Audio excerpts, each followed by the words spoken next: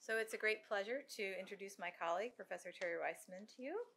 Although I've known Terri for many years and in many capacities at Illinois, it's in the context of our work together at the Humanities Research Institute, formerly IPRH, that I came to know her as a scholar and a citizen of the visual arts world.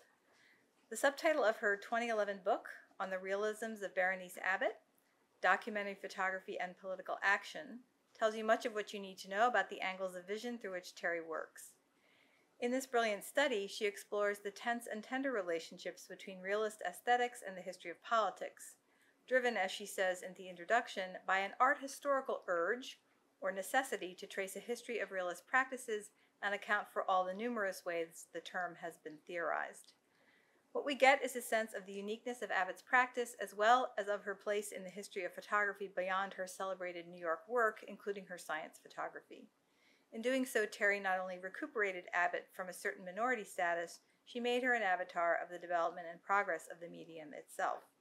Which, when I wrote that, I hadn't really thought about Hal Foster in that in that particular location.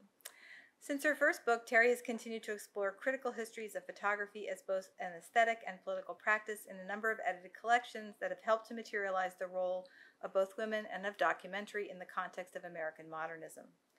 Across most, if not all, of her work to date, Terri has skillfully and persuasively suggested the ways in which reading photography as politics means calling attention to questions of the responsibility of spectators and the engagement of citizenship through representation. Perhaps we'll hear some trace effects of this method in her paper today, Ordinary Deviance, Humor and the Everyday in Hal Fischer's Conceptual Photographs. Please join me in welcoming Terri to the podium.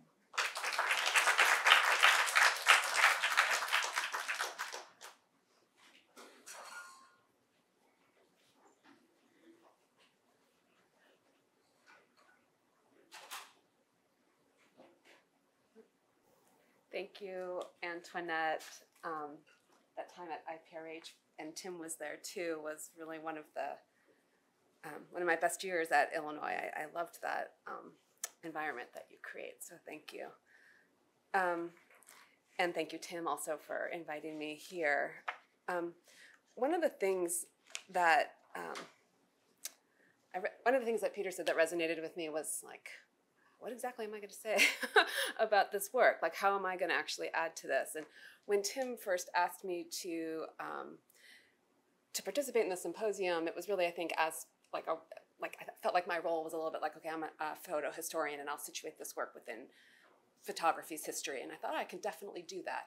Um, and then, like the minute that I tried to do that, I was like, uh, oh god, like I had like 18 million things I was like trying to bring together, but the thing that kind of kept me going um, throughout, or that I realized was bringing it all together, was the weird way in which I was relating to the work through my own totally neurotic Jewish identity. And so, um, which was also funny because um, it was weird to me that I was relating to this work at all um, in a certain kind of way um, because I think I said to Tim yesterday, in a lot of ways, I think I'm like the exact wrong person to write about this. I'm like a total prude in so many ways, and which is also another kind of racist and sexist stereotype of Jewish women, and then that made me relate to the project again. So um, it's a little bit through that lens, um, weirdly, that I um, am approaching this in, in the end. Okay, so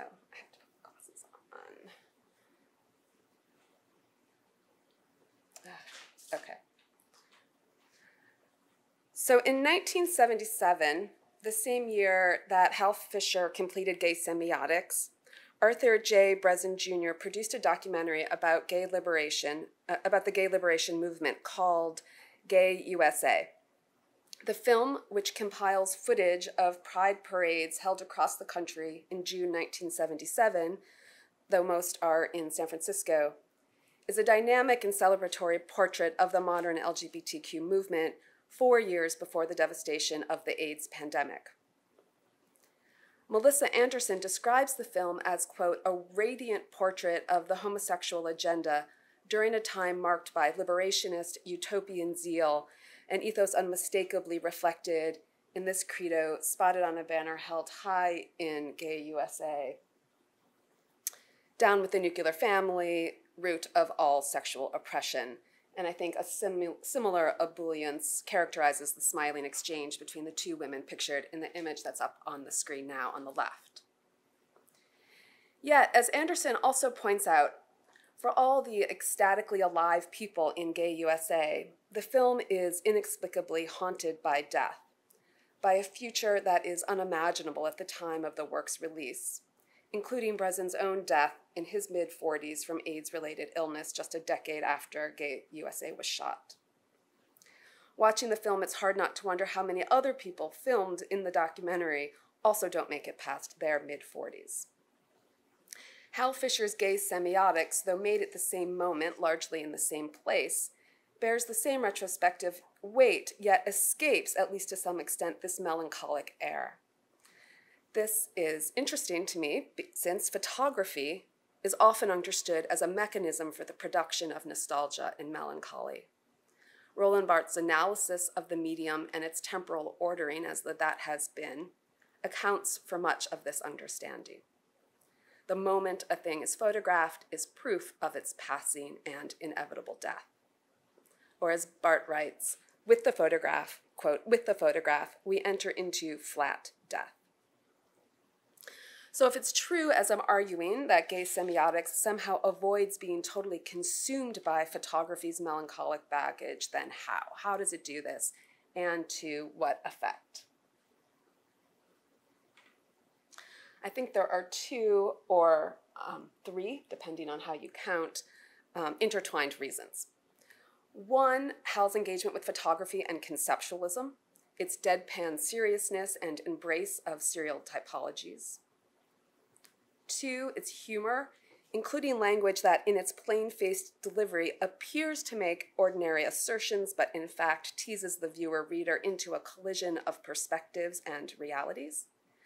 And then three, which is a sort of subpoint of two, Fischer's practice of ironic deflation and the self deprecating joke. In other words, his reliance on Jewish humor, which in its presumption of terribleness and suffering, perhaps counterintuitively, protects gay semiotics from photography's melancholic chattering ghost. Um, so let me go through these three um, points, starting with conceptual art. Um, Hal Fischer, uh, this is a little bit of this is in the exhibition. So Hal Fischer um, moved to San Francisco for graduate school in 1975 after receiving his BFA here at the University of Illinois. In San Francisco, Fischer met Lew Thomas, who's pictured now on the screen on in the middle, Donna Lee Phillips, another artist who's on the left, and then Hal is on the right. Thomas, a conceptual photographer, made work that challenged the emotionalism and one might even say um, obsession with producing fine art in quotation marks and of being understood as a fine artist that had dominated the West Coast photography scene since the 1940s and that was practiced by people like Minor White, whose image you see on the right. White thought of photography as a process through which the visual world was um, rediscovered as a source of transcendence for those willing to look. Thomas rejected this kind of spirituality, producing instead work um, like what you see on screen on the left sink, filling, filled, draining, drained from 1972, which documents the process um, that its title describes. Concerned with sequencing, the passage of time, and how photography can reveal underlying structures in our perception of the world, Thomas viewed photography in radically simplified terms that were informed by structuralist thought. It's an approach that drew Fischer in and introduced him, um, in some ways, to the West Coast conceptual art community. Eleanor Antin, whose image is now up on screen, was also part of this scene. And though she and Fischer are not usually discussed together, the comparison I think is instructive and helps me set up my bigger point about how gay, semio- how gay semiotics avoids pre- presenting photographs or photographic images of people always as life that um, is a death or presence inhabited by absence. And um, I would say too that um, Fischer's also work also avoids a kind of necessi- uh, excessive nostalgia while still permitting a kind of looking back So the work on screen, Carving, a traditional sculpture, that's the title, consists of 148 photographs that Antin daily took of herself over a 36 day period in 1972 when she went on a diet and lost 10 pounds. Each day's photographs are arranged in a vertical column with a small text panel placed beneath indicating the date and time the images were taken and her current weight. So it's a project in which Antin literally carves her own body, um, like the title implies, um, as one would carve a sculpture. And that's largely how the work has been described in the history of conceptual art. It's clever and um, witty.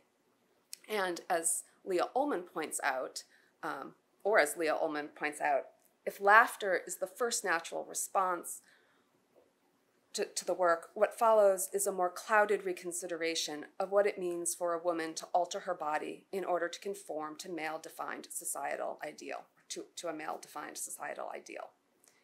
Unquote. So, by highlighting a process that chips away and removes one's own body fat, carving criticizes conventional standards of beauty and the pressure to lose weight, effectively combining feminist and conceptual art practices. Antin's work emerges then out of her own identity in some ways, and yet it is not constrained by it, much as gay semiotics emerges out of Fischer's identity, but is similarly not constrained. And in both cases, humor is key to how the work speaks about and beyond a kind of identity politics. This is important. Um, there is potentially product. There is a potentially un.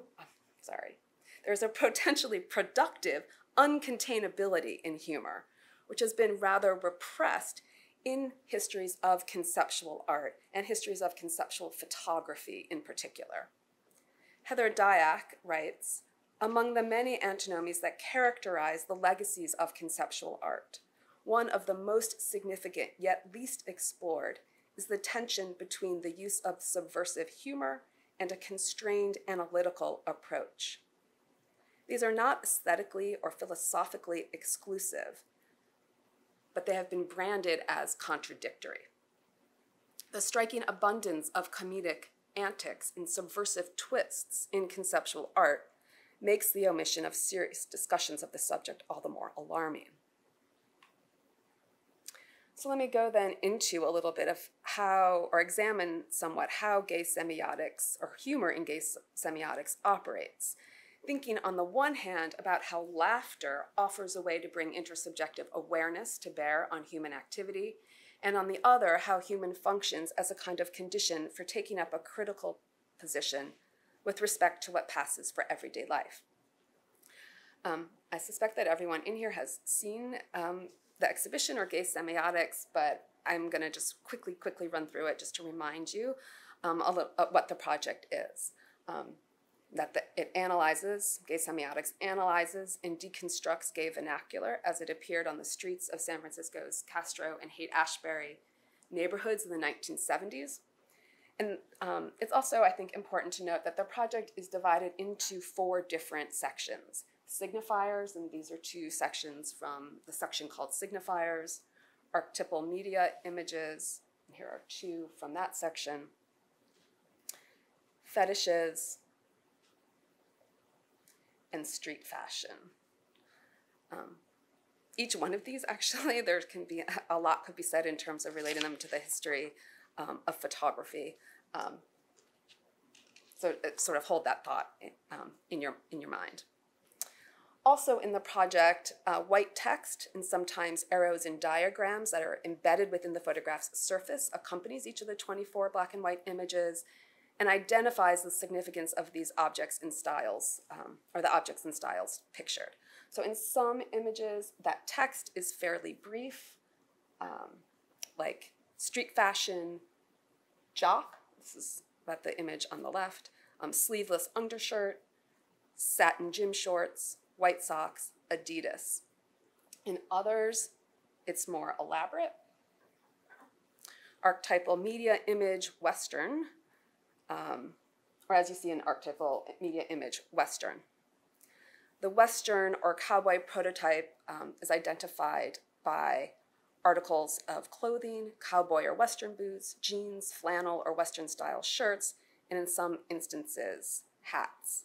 The cowboy represents the frontier of a male only society. The machismo qualities of the Western archetype are vigorously exploited by advertising. Modern cowboys are used by the media to play up masculinity and sexuality in ways that are subconsciously understood by the gay populace. So I'm sorry, that's me reading the text that's on there.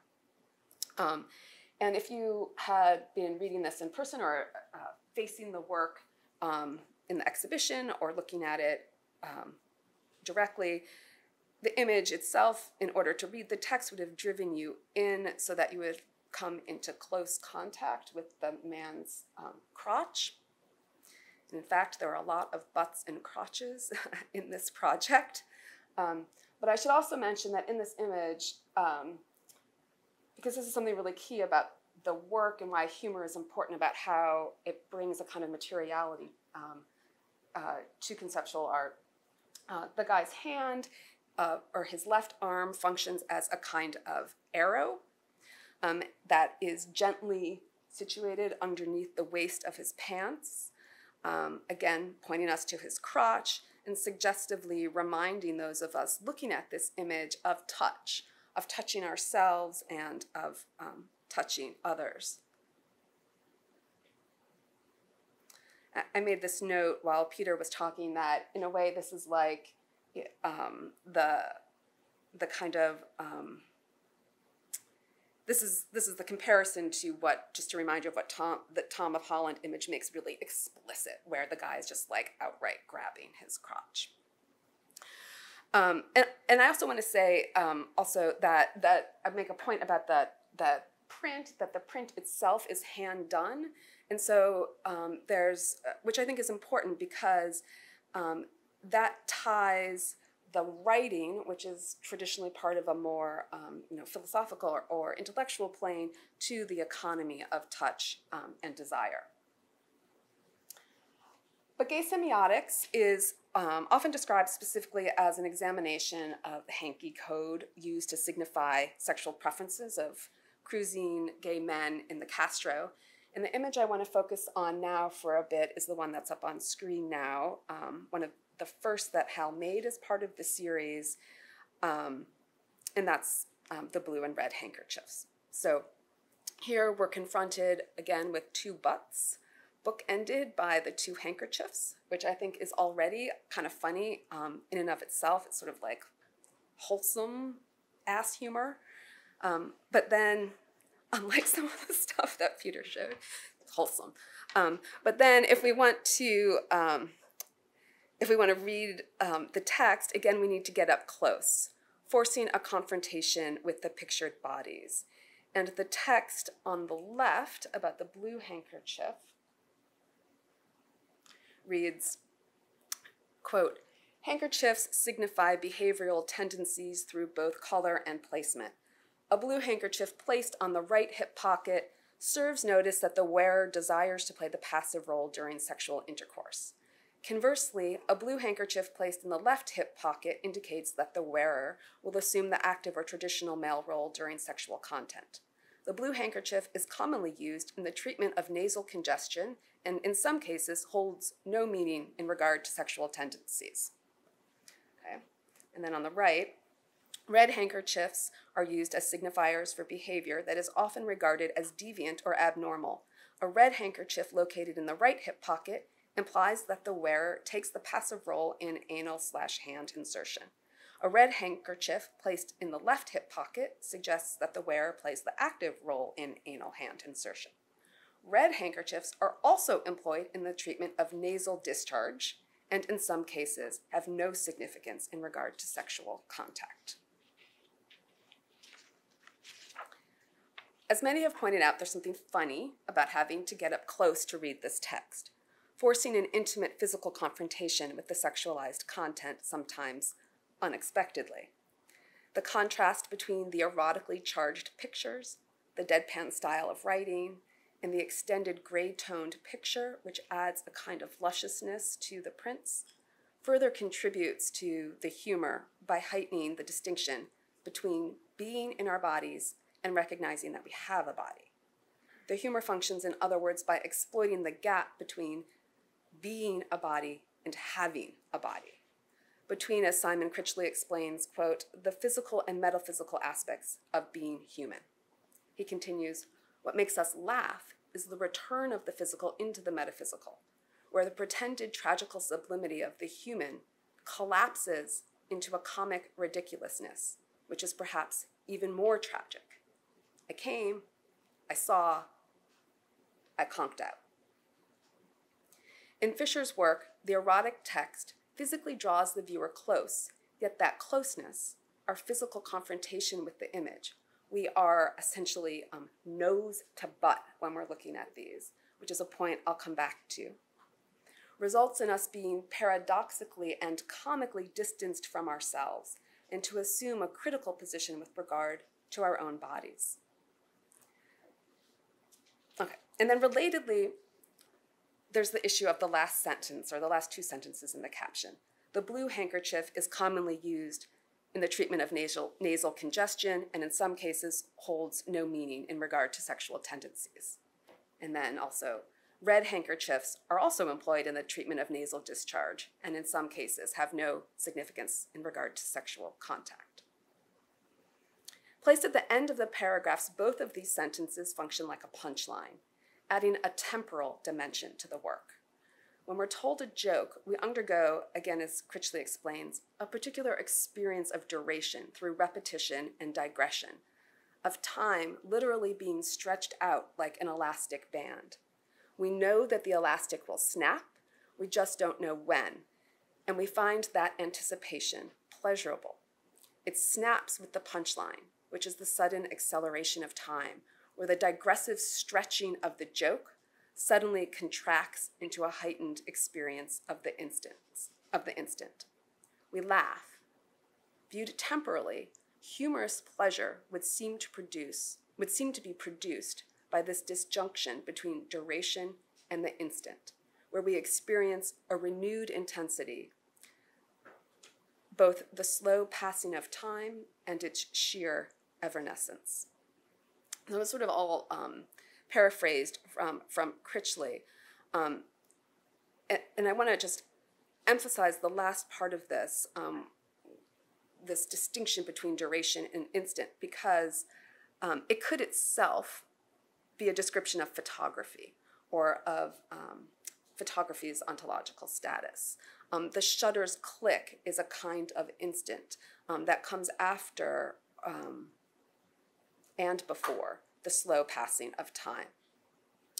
And so the comic timing as explanation of photography's ontology perhaps is almost like another joke embedded within Fischer's work. But the overt punchline, the thought that snaps this elastic essentially, is, um, you know, yeah, yeah, yeah, I'm mapping out this whole discourse and the structuralism, um, the discourse of structuralism onto the visual codes of queer life in the Castro, and oh, by the way, all of it might actually mean nothing, um, which is pretty funny. And there's also a kind of political force in that undoing. Like, who's the criminal here? Um, in a project that is ostensibly about the identification of gay signifiers, what does it mean to say that it could, in fact, all mean absolutely nothing? Who's gay, and then how can we ever know what anything means? I'm interested in these last these sentences that I've repeated um, for another reason as well, though. Um, and that's for how the mention of congestion and nasal discharge um, call attention to the nose, or specifically a runny nose. When Fischer talks about gay semiotics, he often talks about or refers to the project's underlying Jewish humor. In a 2015 interview with art historian Julia Bryan Wilson, for instance, asked about um, where the image that's now on screen on the right um, was taken, an image that, Ju- that Bryan Wilson describes as funny um, for how the submissive leather figure sits un- um, incongruously on cardboard boxes in what looks like an office. Fischer responds, those pictures were taken at the Trading Post, which was an S&M emporium, and it was very makeshift in those days. It wasn't the industry it is today. Um, and then Bryan Wilson follows up somewhat sarcastically, I'm sure, um, queer sex accessories weren't coming from a polished manufacturing industry. And Fischer, no. Um, and I certainly didn't own that kind of stuff. And I don't know if the work is actually self deprecating, but there is certainly a level of Jewish humor underscoring this. So the S&M figure who appears totally out of place and somewhat pathetic in the makeshift office, and the congested running nose that require that requires a handkerchief, these qualities, I would say, um, involve a level of self-mockery characteristic of Jewish humor, where the joke's narrator is the butt of his story, and also importantly, um, the figure with whom the audience really um, can easily identify. And for sure, I think some of the what I would call quirky relatability, um, the calling attention, uh, eh, eh, sorry, some of the gay semiotics is quirky um, relatability comes from calling attention to um, the body's foibles and also prevents it from falling into this kind of irretrievable melancholic past. But Jewish humor is not merely self criticism, it's also self justification sometimes accompanied, often accompanied, with a sense of superiority. Or as Sarah uh, Blacher Cohen describes, Jewish humor exists, quote, in a state of constant tension between criticism and justification. If you extend the narrator's self deprecating remark a little bit, it becomes a sardonic comment, not merely on the plight of the Jews, but also on the plight of all humanity. Unquote. So the narrator here in gay semiotics. The kind of nebbishy guy who, after describing the gay semiotics of the red and blue handkerchiefs, points out that actually maybe none of it, none of what he said is true, and that maybe the handkerchiefs are just used for blowing noses, undercuts the certainty of the signifiers he's defined, thereby pointing to the arbitrariness of the sign and his own cleverness.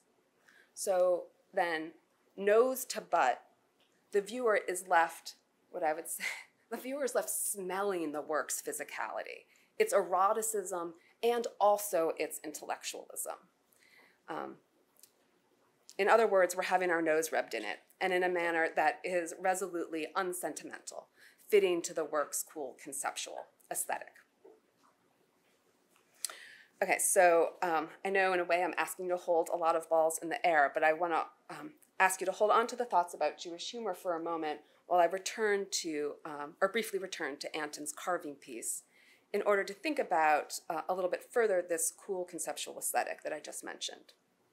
When I spoke earlier about Antin's work, uh, what I didn't describe is how, in addition to feminist politics, um, the work also provides insight into photography's long history of recording, measuring, and assessing the body although a performance based conceptual work. Much of the piece's success um, stems from the particular way that Antin made herself the object of the camera's penetrating lens. Arranged in a giant grid, each photograph features Antin standing, somewhat awkwardly, against the same white door in approximately the same place. The repetition of the door, and also um, the door frame, the lock, the handle, and so on, furnishes a constant against which the viewer can measure and evaluate Antin's changing body. The consistency of the framing and purposeful administrative as opposed to artsy look of the images, think for instance of how the photographs are simply tacked to the wall, or how they resemble medical documentation, thus connects Antin's photographic approach to systems of measurement and control, as well as to pseudoscientific studies of the body, such as those in 19th century ethnographic image, imagery, which were explicitly designed to control, um, dominate, and rule populations. Such references are um, not uncommon in conceptual photography, and um, Fischer, working in the Bay Area in the 1970s, would have seen a fair amount of it, or if he didn't see it, it was certainly around. And gay semiotics should be seen, at least in part, about the history of photography's long legacy of ethnographic typing. Um, okay, so again, keeping all of this stuff kind of floating in your head um, or juggling around, I want to introduce one more figure with regard to this issue of ethnographic typing, and that's August Sander, whose image you see um, on the left, um, because I think Sander lingers behind Fischer's project. Just looking at the two images together, in fact, I hope you can see certain parallels, um, such as the central framing, um, the, um, the clarity of the printing, and also the self-posing and the lack of any costumed elements. Sander began work on his project in the 1920s in Germany and conceptualized the project as a visual accounting of all of the different people that made up Germany's democratic society. Though he began the project, uh, which was titled Citizens of the 20th Century, during the years of the Weimar Republic, he continued to work on it despite enormous obstacles until his death in 1964. Though the project was never completed, the plan was to create a series of books that contained portraits of hundreds of German citizens, um, images that would be organized according to profession and social class, with categories such as peasants and farm, farm laborers, skilled laborers, bankers and merchants, aristocrats, women, and intellectuals. And in the book also included a section, uh, or included marginalized populations in categories such as the insane and beggars. So that's also a little bit of why I emphasized at the beginning that um, in uh, gay semiotics there are these four very clear classifications. In some ways, uh, that mirrors um, some of what Sander is also doing. Um, the two projects, Sander and Fischer's, like other ethnographic projects, also share a remarkably similar mode of, of presentation. Most of the photographs feature a single figure in a work setting or living situation centered in the frame and displayed um, full body or three quarters length view. The expression on the man and pastry chef, straightforward and serious, is typical of Sander's approach. The camera confronts the subject directly, and the subject rarely, if ever, smiles back. On its own, Pastry Chef would be a compelling portrait. Extraordinarily crisp, again, as is typical of Sander's work, the chef's white jacket and his silver mixing bowl, a tool of the trade, glows against the kitchen's darker grays. But situated in Sander's larger archive of Weimar types, um, again, this, this whole uh, project at one point consisted of tens of thousands of images. So seen within this larger archive, the image ceases to portray any specific individual and instead comes to represent part of a social collective. Or really, and this is one of the key contradictions embedded within the project, you could say that Sander explored photography's capacity to render the specificity of an individual as an ostensible universal type. Um, two more examples are on screen now, one from citizens and, and one from gay semiotics. So a lot more could be said about how Sander's photographic project relates to Fischer's, but as I um, start to draw uh, to an end here, I want to try to put things together by focusing on the context out of which both projects emerged and how that context continues to drive the work's meaning. Life um, consorts with death in both, but to different effect.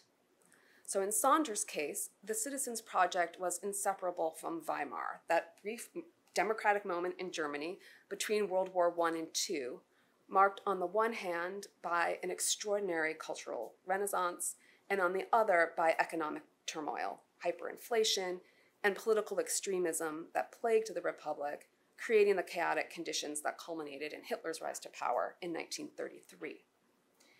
Indeed, in the summer of 1934, the Nazi Ministry of Culture ordered the seizure of Sander's work, destroying thousands of his plates and negatives. Now, on the surface, Sander's work might seem like exactly the kind of classification project um, that the Nazis might love. His rejection of the singular bourgeois portrait, designed to glorify wealthy individuals, and his attempt and, in, and his attempt to create a kind of new portraiture structured around collectivity and class identity, made the work an unwelcome reminder of a past German democratic society, a memory best eradicated by destroying its visual remains. and one of the interesting things about Sander's project is how much it was and continues to be shaped by its, mom- by its moment and how much scholars really admire the project because of its historical, not just its historical placement, but also its destruction. Um, it exists as a remnant and a reminder um, full of melancholy and mournful foreboding. Once asked about how gay semiotics fit within a history of ethnographic typing, Fischer responded by bringing up Sander. Quote, I mean, I loved in big caps, Sander, he said. I still do. He then added, um, and now here, start to think back to the discussion of Jewish humor. Um, so he added, quote, I probably was a fascist in an earlier life because I'm definitely into types. I'm def- and I'm definitely into archetyping. I don't really think it's that awful of a thing to do. It can be very informative. This wisecrack about being a fascist in another life goes unremarked upon in the interview, perhaps unsurprisingly. Um, and I know the person who was who conducted that interview, so it made me doubly laugh when I read it. Um, but it's it's a funny and provocative statement, um, but it's also dipped just a little bit in tragedy. And I want to suggest that the line is not simply a one-off. That beneath this wisecrack is a sense of history and also a helplessness within that history. Like the narrator who is the butt of his own joke, this characterizes Jewish humor. The wry comment, or homorealism, present in Jewish humor, can suggest a less melodramatic, less apocalyptic perspective on even the most disquieting state of affairs of the modern world. Jewish humor, writes Robert Alter, quote, typically drains the charge of cosmic significance from suffering by grounding it in a world of homey practical realities. Um, if you want to forget your troubles, runs a Yiddish proverb put on a shoe that's too tight. It's actually a proverb I grew, I grew up hearing in my family. Like Weimar for Sander, the context within which Fischer worked, that brief period after Stonewall and before the AIDS crisis, has shaped much of the work's reception. And absolutely, one of the painful privileges of retrospective viewing is having knowledge of a past that, to the person you're seeing or watching or reading about, is an unfathomable future. Yet Fischer's conceptual approach to the photographic medium, medium his deadpan delivery in both image and humorous text, prevents the work from resting solely in a melancholic space that might temporarily be described as this will have been death.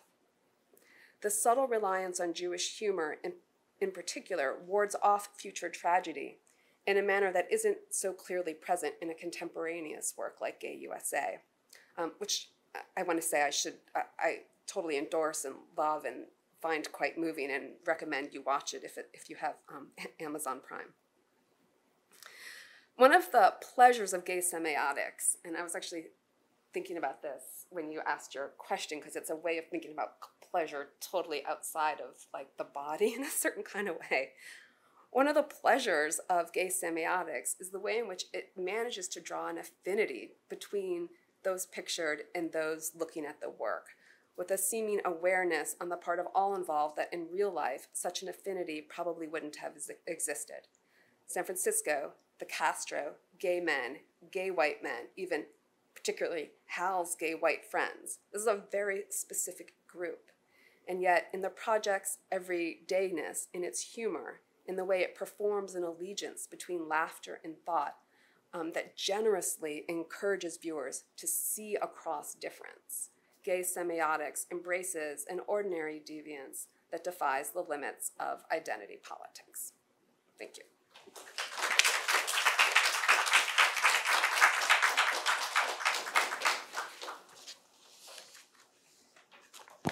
Thank you, Terri. That was that was fabulous. Another fabulous paper. I am extremely happy in and feel extremely vindicated in the people I invited to this symposium.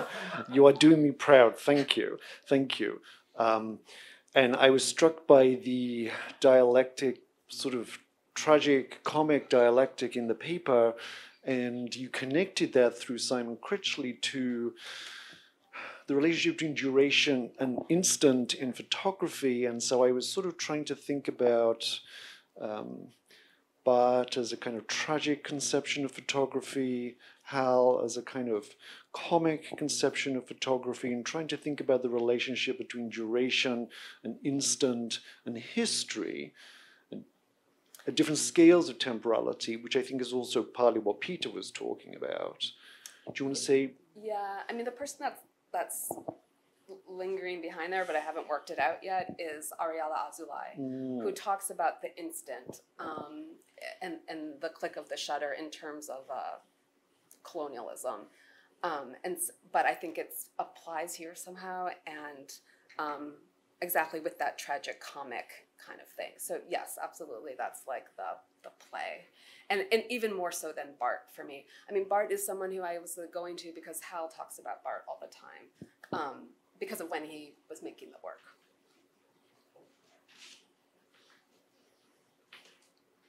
Thank you. I'm.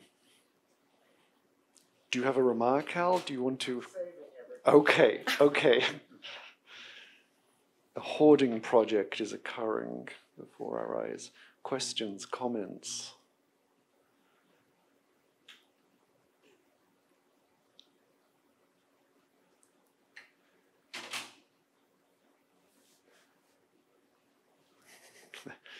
Clearly, we will go. The questioners will ask their questions in identical order after every presentation. Jeannie Brinkema.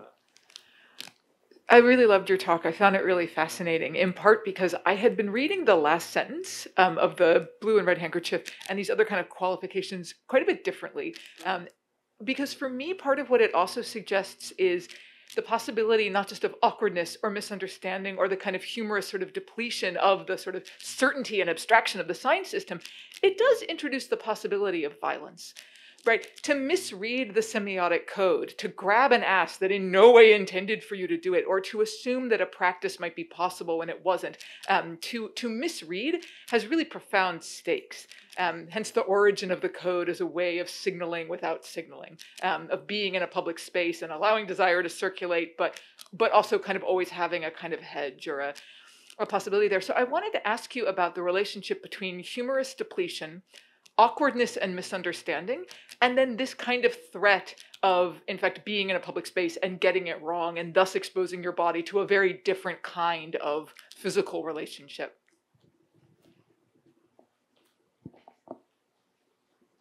I'm thinking. Um, yeah, I, I, I'm aware of that. Um, so thank you for bringing it up. And I don't. Um,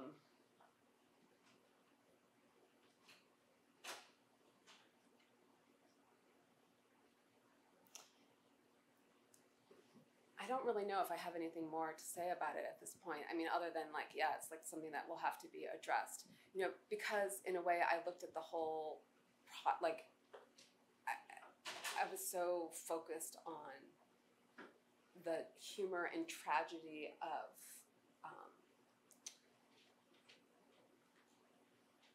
like thinking about tragedy and violence in terms more historically of like the Holocaust um, and how I mean, like even at dinner last night when Hal was talking about like these German symbols, and then I mean, I was almost laughing at myself in this talk, like, oh yes, of course, here I have to I can't not talk about fascism, you know, or even when I teach the history of photography, I'm like, and then here's another project that was destroyed by the by the Nazis, and oh, here's another one. Like I I'm, I can be like my own thinking can be overdetermined by that. So the violence that you're pointing out, I think, can be made to is part of it too somehow, but I don't know yet how. Um, but I also think it is, you know, that's one of the ways in which, I mean, the whole project undoes itself. So by having that kind of, um, I don't know how to finish that thought. Never mind. Anyway, good point that needs to be addressed. to now start to argue against my own point. To me, what's interesting and maybe like meta funny or meta ironic about it then is that it could both mean a kind of disappointing erotic encounter, right? The handkerchief did not mean what I thought it meant, so we're in fact not going to go home yeah, together yeah. and do what I want. Right. Or I could misread it and you could assault me because right. So it could be both of those things, and that tension between like the the levity and the gravity of potential outcomes, right? Awkwardness on the one hand, violence on the other. It just shows that those sort of public crossings um, and relations have themselves a kind of range of possible tones that you can't know in advance. So maybe that's also part of the irony of that kind of undercutting moment in the last sentence. Yeah. Yeah. Yeah. Thanks for answering your own question. And, and then, it, it was really interesting to think with. Thank you. Yeah, but also it's like the gravity of levity, like throughout, is also part of it. I also just want to register in response to this, and I've always thought this about Hal's. I've always thought this about Hal's work and about the Hanky Code. It does require you to be able to reliably distinguish left from right, and many gay men are directionally challenged. I speak from experience, and so just one doesn't need to not only know what the hanky means. One needs to know, okay, is that the right from my perspective, the right from his perspective? Which is right, which is left? Is it the other left? Yeah, That's funny. that's my version of gay Jewish humor. Is question from Janice Harrington. I, I don't have a question, um, just, just a comment, really. It, it's sometimes nice to know what, what falls off the shelf in people's heads while you're Yes. thinking. And you were talking about those pictures in, in terms of death and absence and presence. And there's an African folk tale that no one is, a man is never dead until he's forgotten. And so, in a sense, these pictures are here, and by virtue of that, still alive and I that that that's what I thought about, and that you know folktale being folktales being a kind of story, and the storytelling that that you're talking about going on in those pictures. Not a question, just a comment. yeah, that's really. Um, uh, I should probably just be like, "Thank you, you- really, that's useful." But but now I'm gonna get myself in trouble by responding just quickly, which is. So what I was sort of trying to say a little bit though is that right that is how photography is often read um, in the way that you in the way that you heard it, um, especially images of people and especially something like Sander's project. Like there's just uh, there's a death that's already implied in it. This will have been death no matter when. That's sort of like Barthes's position, and so your comment applies to that. But then what I'm sort of arguing is that like weirdly Hal's images somehow avoid that. That, that they somehow avoid that. So um, well, I'm just gonna say that for now. So anyway. Question from Christopher Kempf. Thank you for that uh, really excellent talk. I was struck by your pairings of the photographs, including here, the two and the two. Uh, and the last slide you showed of the, um, I think it was 40s trash, 40 street trash, and um, the Grosha, that one, the, Oh, that, that one, the grid behind both of them. and the Yeah. bu- uh, um, th- this is, a, do you see this kind of form, formal self reflexivity uh, in the traditions of the two, two traditions you're mentioning here, Jewish humor and documentary photography? That kind of so this is like encoding itself as a classificatory project, right? Um, is that does that come out of those traditions you were documenting here? Say, say, the, say the question again. Does that does this kind of formal reflexivity come out of the traditions of like uh, Jewish humor and uh, documentary uh, ethnography, photography? So yes to the ethno- ethnographic question, hundred percent. And I mean, and it's so um, there are so many like parallels you could kind of make in these images. I hadn't really thought about that as a quality of Jewish humor, but I love that idea because then it doesn't just rely on me having to hear like that Hal talks about fantasizing about being a fascist, but then it's. I'm not saying that you do. oh, you do. but I but it makes it embedded into the images, so I love that very much. So I yeah, so the tragic is like embedded formally within the way that Hal is using um, or referring back, you know, whether consciously or not, to the to the Sander's image into the tradition of ethnographic photography. Yeah, I love that. Actually, it's really helpful for me. Thank you.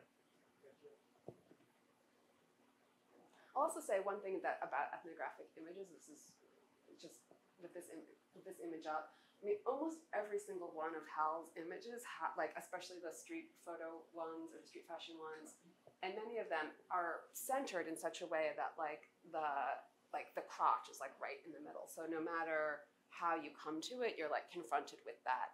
And I think that that could be made part of that interpretation of the of the ethnographic image and connecting it to Jewish humor somehow. But I'm I have to figure that out.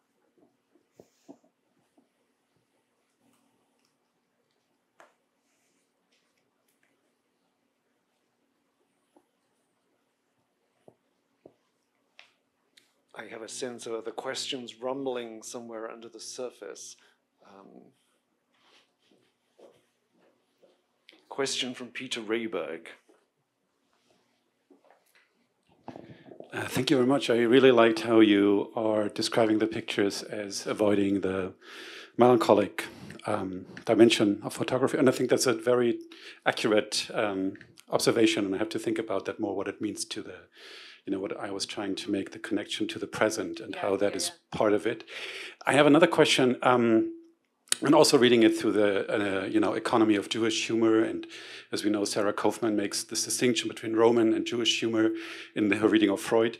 And I was wondering the other example that is prominent in Freud's uh, the joke and its relation to the unconscious is of course the dirty joke, die Zote, which in a way would be you know one would think whether that is closer to the project, but I think it's maybe not. And I think you might be co- uh, completely correct in talking about the Jewish joke, but not about the dirty joke. But I was wondering whether you have any ideas about how Freud's idea of the dirty joke, which is the exposure of the female being castrated, how that somehow also helps us to read this specific gay humor. Uh, okay, so I, uh, that's a really excellent question, and um, that I'm going to inadequately answer. Um, so, the way that I first got to humor was um, in part from a friend who, of mine who works on humor who brought up the dirty joke. And a lot of how I responded to this project in general was really just sort of like intuitively what I thought. I don't like I, I don't know and I just kept thinking, oh, I don't somehow that doesn't seem quite right to me. And it could be in part because I'm not um, operating from like I think I was so f- the second part of your question, what was the second part? Like uh, The second part was like how how how I, I- I was just curious whether the um, the economy of the dirty joke, which is, if I remember correctly, somewhat different from the economy of It the is, Jewish. yeah. The the dirty joke for Freud is not an example of Jewish humor, right?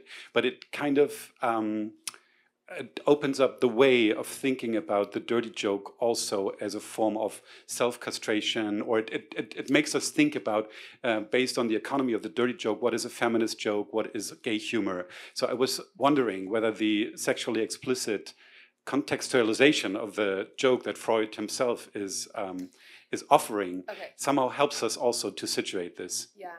Okay. So I'll just give it. Um, I don't see it this project as explicit in that same kind of way, which is why it didn't seem appropriate. So that's like the short answer. Yeah. Which is why the video that you showed, I was like, this is making me crazy. And I wanted to actually ask Miriam, although I also think Tim's face at you was like, Terri is going to be shocked. You must turn this off right now. I totally took, like whispered in my ear even. I was like, I can take it. I'm not that weak. But the, or genteel. There, there's like this. Um, but I, um, but I was curious when Miriam brought it up, like, because it's also super interesting. But so, like, I was curious. Maybe this is a question for at the very end of the, at the Q and A, like, what you, what you was left wanting for you, and um, because there's a lot of other artists, like Wendy Red Star, who's an indigenous artist who has also taken the kind of, um, and maybe I should have shown some of that. Who does the exact sign? Do you know that work? Who does the exact same kind of like signification, but only on for um, indigenous clothing in some ways. So it's a contemporary use of the work, but in this like completely different way.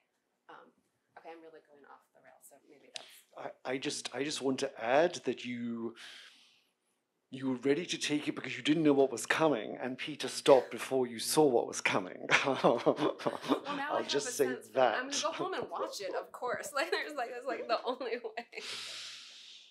Okay. I feel there are lots of comments or thoughts. I don't know if Mariam, if you have a follow up, you look like you might have a follow up comment or question. Let me. Mariam Kashani. Thanks. And well, I mean, I think um, when was it Peter who said um, when he said generic, I was like, oh yes, that's a really good way to describe that video Oh yeah. because I think Hal's work does so much that is just not in that video. Um, and of course, now listening to presentations, I'm like, oh, I kind of want to rewrite what I'm going to talk about later.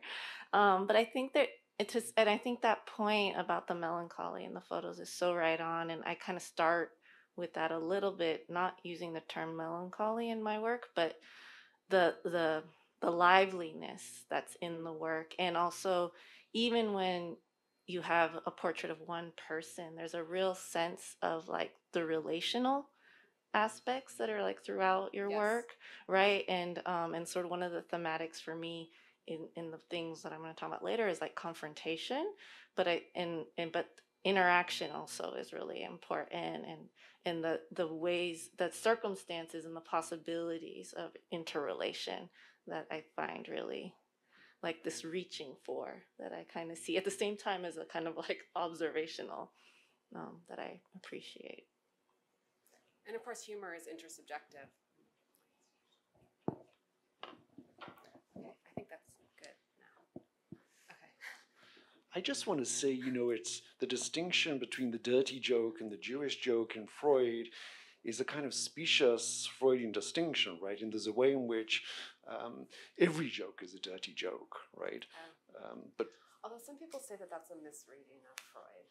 Right, and you're I- you're enti- entirely entitled to correct my reading of Freud. No, no, no. I, I no, think it's a no, great no, no, moment. No, no, that's not. that was just a highlight of the symposium for me.